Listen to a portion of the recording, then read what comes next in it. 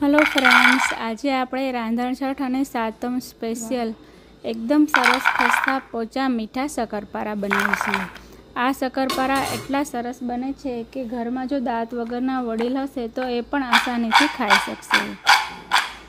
એક ખાસ ટ્રીકનો ઉપયોગ કરીને આજે આપણે આ લેયરવાળા શક્કરપારા બનાવીશું.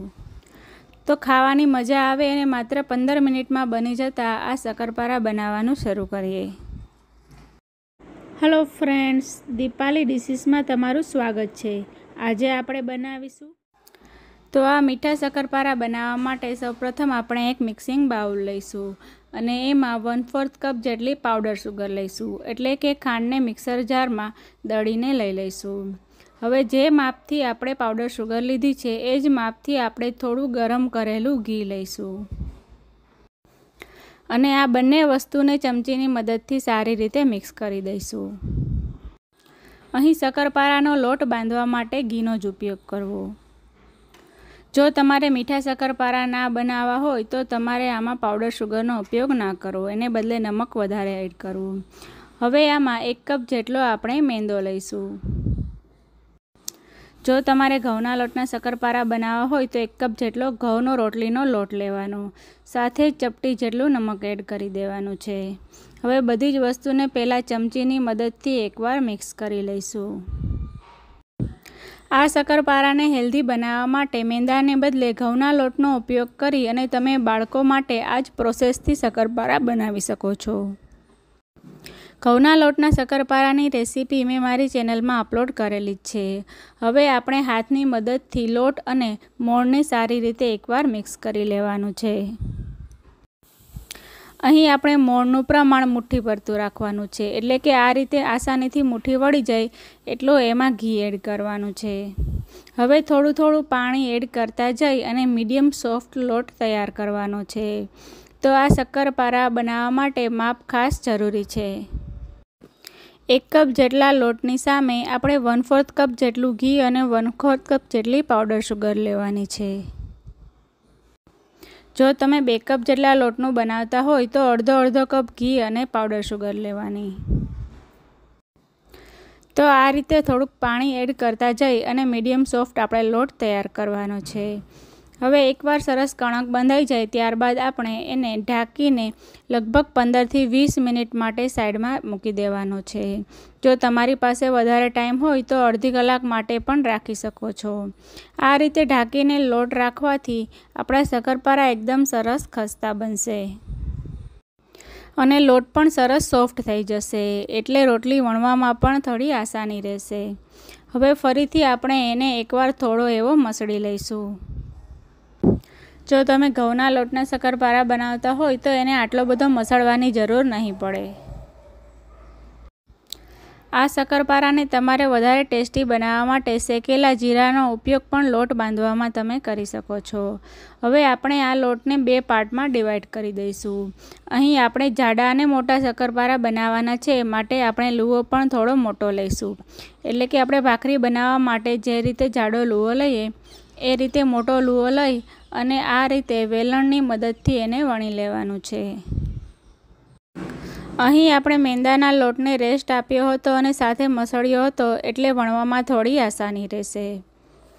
તો આ રીતે ભાખરી જેવું જાડું વણાઈ જાય ત્યારબાદ આ રાઉન્ડ શેપની મદદથી આપણે રાઉન્ડ શક્કરપારા બનાવી લઈશું.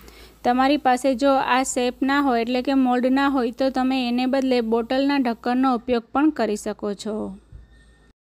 અથવા તો કોઈ સિરપની બોટલનું ઢાંકણ પણ લઈ શકો છો.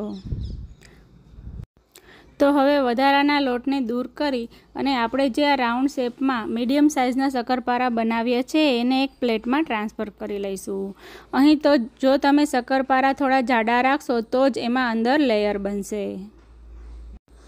અને જો તમારે શક્કરપારા ક્રિસ્પી બનાવવા હોય, તો તમે એને રોટલી જેવું પતલું વણી અને ત્યારબાદ આ શેપ આપી શકો છો. હવે એ વણેલા શક્કરપારાને સાઈડમાં રાખી અને ત્યારબાદ બીજો લુઓ લઈ અને એને પણ આપણે જાડું વણી લઈશું. અહીં થિકનેસ તમારે એકસરખી રાખવાની છે.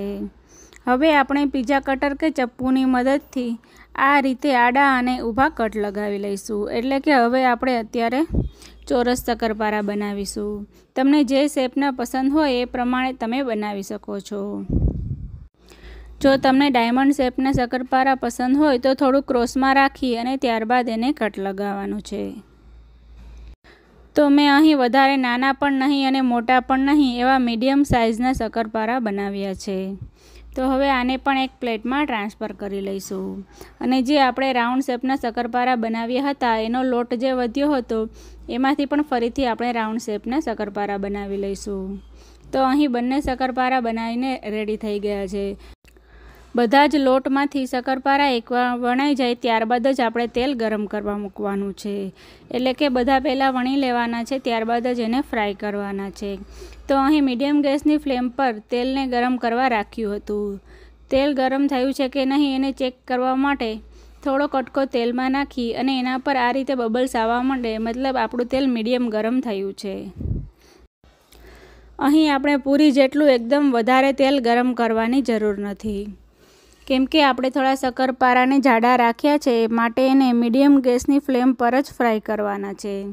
તો તેલ મીડિયમ ગરમ થાય ત્યારબાદ એક પછી એક શક્કરપારાને કડાઈમાં મૂકતું જવાનું છે. હવે પહેલાં આપણે એને ચલાવવાની ઉતાવળ નથી કરવાની. થોડી સેકન્ડ માટે એમણમ જ એને થવા દેવાનું છે. શક્કરપારા તમે કડાઈમાં નાખશો એટલે આ રીતના બબલ્સ આવી જશે. ત્યારબાદ તમે જારાની મદદથી આ રીતે પલટાવતા જઈ અને એને ફ્રાય કરી લેવાના છે. વચ્ચે વચ્ચે તમે આ રીતે પલટાવતા જશો એટલે બંને બાજુ શક્કરપારા એકદમ સરસ ગોલ્ડન બ્રાઉન થઈ જશે. બધી બાજુ એકસરખી રીતે કલર આવી જાય ત્યારબાદ એને જારાની મદદથી તેલ નિતારી અને બહાર કાઢી લઈશું. અને ત્યારબાદ આપણે જે સ્ક્વેર શક્કરપારા બનાવ્યા હતા, એને પણ તળવા માટે કડાઈમાં એડ કરી દઈશું. શક્કરપારાની એક બેચને ફ્રાય થતાં લગભગ બેથી અઢી મિનિટ જેવો ટાઈમ લાગશે. અહીં સ્લો ટુ મીડિયમ ગેસની ફ્લેમ પર જ ફ્રાય કરવાના છે. તો જ તમારા શક્કરપારા બહારથી ક્રિસ્પી અને અંદરથી ખસ્તા બનશે. જો હાઈ ગેસની ફ્લેમ પર ફ્રાય કરશો તો આપણે જાડા રાખ્યા છે માટે અંદરથી થોડા કાચા રહી જશે. તો થોડો ટાઈમ લઈ આરામથી શક્કરપારાને ફ્રાય કરવાના છે. અને જારાની મદદથી આ રીતે પલટાવતા રહેવાનું છે એટલે બંને સાઈડથી સરસ ફ્રાય થઈ જાય. અને આ શક્કરપારાને તેલમાંથી કાઢી લીધા બાદ થોડીવાર માટે એને ઠંડા થવા રાખી દેવાના છે. કેમ કે ગરમ ગરમ શક્કરપારા તમે ખાશો તો એ એકદમ પોચા હશે. એટલે કે તમને કાચા જેવા લાગશે. પણ એકવાર સરસ ઠંડા થઈ ગયા બાદ તમે ખાશો તો એ બહારથી સરસ ક્રિસ્પી અને અંદરથી સરસ પોચા તમે આ શક્કરપારાનો અવાજ પણ સાંભળી શકો છો. તો ફ્રેન્ડ્સ તમને આ રાંધણછળ સ્પેશિયલ શક્કરપારાની રેસીપી ગમી હોય તો વિડીયોને લાઇક કરો શેર કરો અને મારી ચેનલને સબસ્ક્રાઈબ કરો.